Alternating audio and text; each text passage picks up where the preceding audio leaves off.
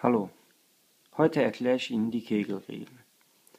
Die Regeln habe ich in sieben Schritte aufgeteilt. Schritt 1. Beim Kegeln handelt es sich um ein Spiel, bei dem eine spezielle Kugel über eine Bahn gerollt wird, um neun am Ende der Bahn aufgestellte Kugeln zu treffen und umzuwerfen. Schritt 2. Das Spiel kann entweder auf speziell dafür vorgesehenen Kegelbahnen oder auch auf einer ganz normalen Straße gespielt werden. Schritt 3. Die neun Kegel sind im gleichmäßigen Abstand zueinander und mit der Spitze zur Bahn aufgestellt. Abrollpunkt der Kugel sollte ca. 20 Meter im Abstand liegen.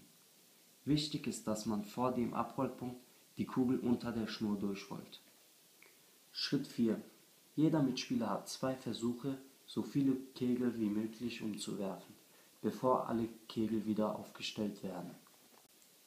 Schritt 5.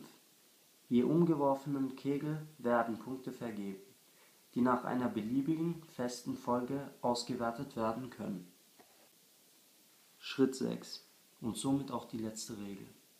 Gewonnen hat, wer am Ende die meisten Kegel umgeworfen hat. Ich wünsche euch viel Spaß beim Kegeln.